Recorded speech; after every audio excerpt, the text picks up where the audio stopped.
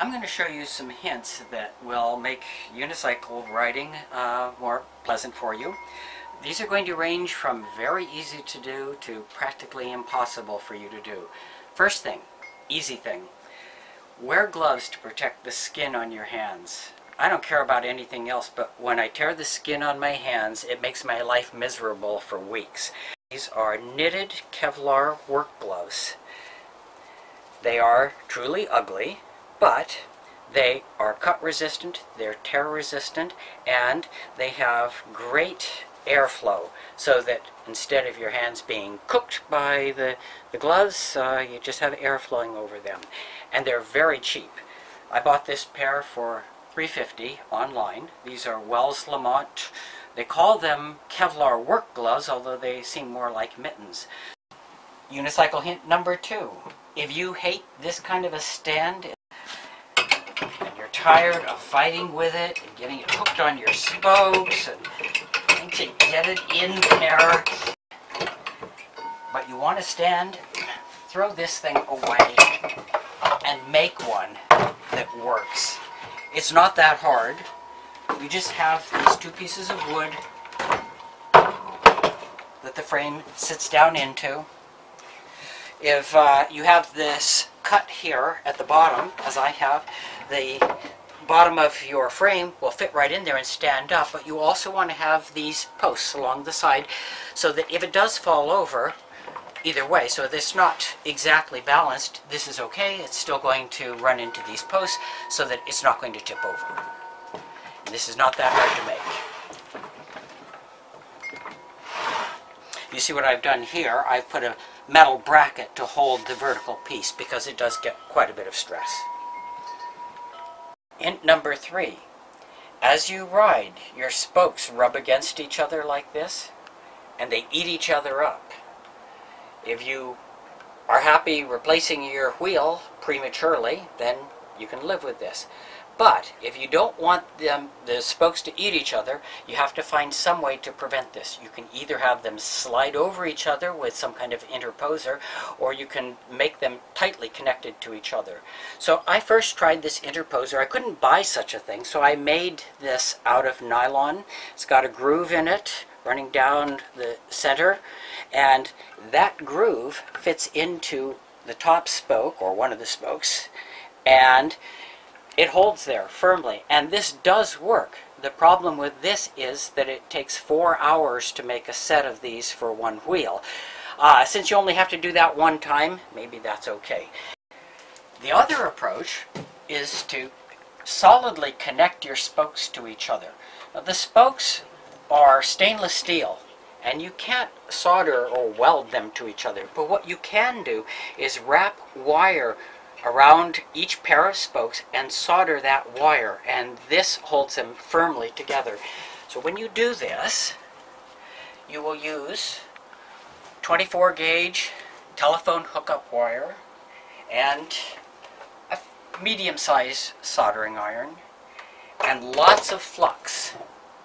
You must use lots of flux because the wire uh, that you're wrapping is copper, the spokes are stainless steel. It tends to make the solder roll off, but if you put lots of flux on the wire, the flux will, will hold the solder while it um, melts into the wire, and you'll have good connections like I have here. And these will last as long as your wheel does. So you see there's no play at all between these. When I first did this, I was afraid that it would make the wheel stiff and difficult to ride or at least uncomfortable, but in fact I couldn't find any difference at all. It felt exactly the same as before I had done this. This one is an important safety tip, but only for uh, people who ride backwards. Uh, you don't have to do this at all if you only ride forward. And that is, you'll notice that you have a left thread on your left pedal, and you have a right-handed thread on your right pedal. The purpose of that is to have these screw into the crank as you are pedaling so that they, the pedals won't come out. But that only works when you're going forward. When you are riding backwards, it does just the opposite. They unscrew. And if you uh, have not done this before, you'll be surprised by having a pedal fall out, as I was. And you have to glue them in. I have used this blue Loctite. This is not the strongest stuff. This is the weakest hold, and it seems to work fine. You could also use the red, but that's supposed to be permanent, and you may have trouble getting your pedals out. And since the blue has worked for me, I would suggest using it. Now we're moving on to the hard stuff. If you find that your wheel groans when you make hard maneuvers, especially if you ride backwards and forwards and uh, you are making a, a high torque direction reversal and it makes noises, and after a while you find that it gets loose to the point where you really are afraid to ride it. It's not because you have loose spokes or a loose wheel what you have is a damaged spline joint. The axle goes through the hub, and what keeps them so that they rotate together is a spline joint. And in particular, if you do high torque direction reversals, the spline joint wears out very quickly, and also it's quite dangerous because when you are riding forward, you lean forward.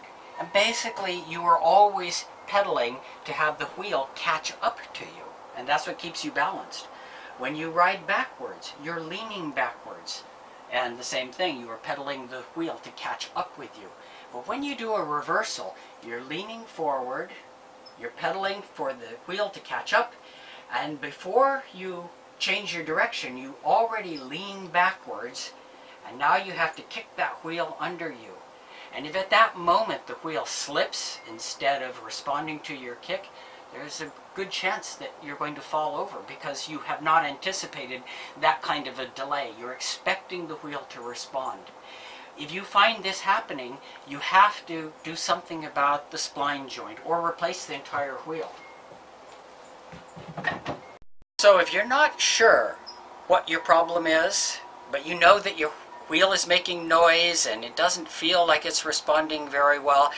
An easy test for a spline joint problem is to mount your crank, one of your cranks, in a vise like this so that it can't move and then you grab the outer rim and you just twist it. If you find that it is responding like this, that is, you don't hear any noise, it doesn't seem to be slipping, then you don't have a spline joint problem.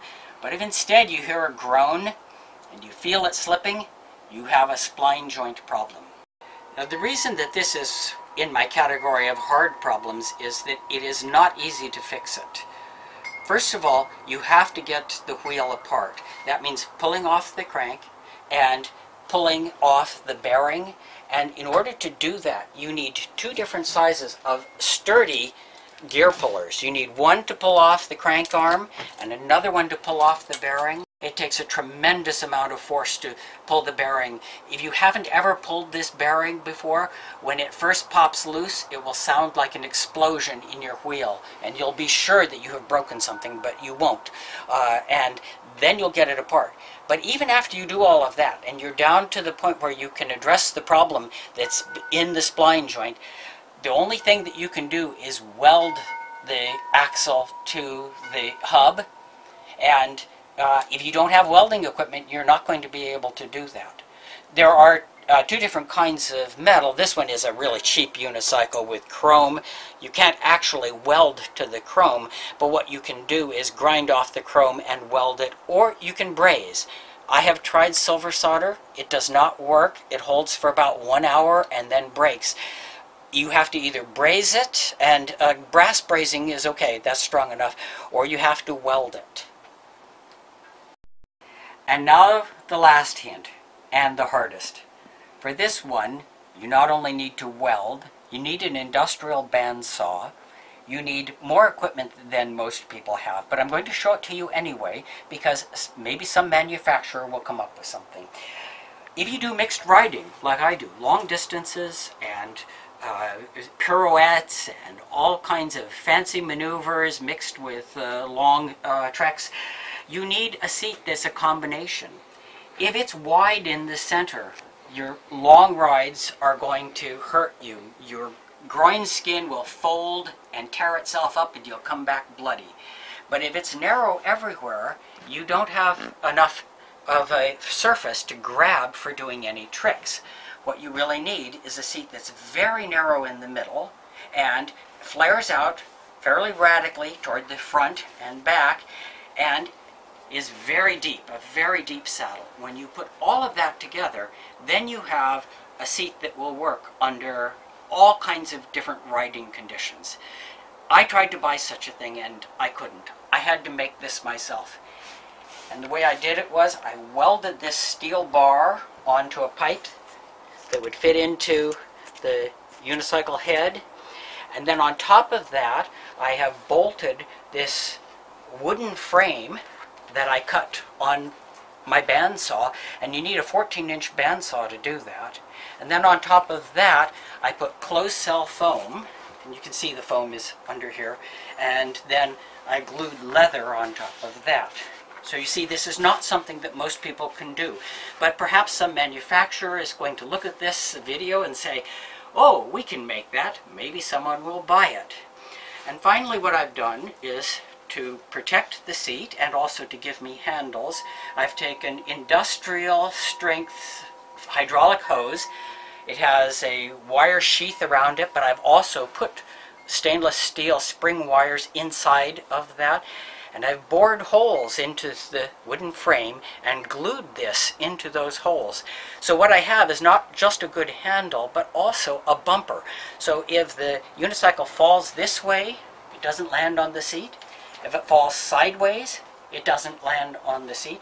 It always just lands on the bumper. And yet, the way the uh, handles are stretched out in front and in back, they don't interfere with my legs.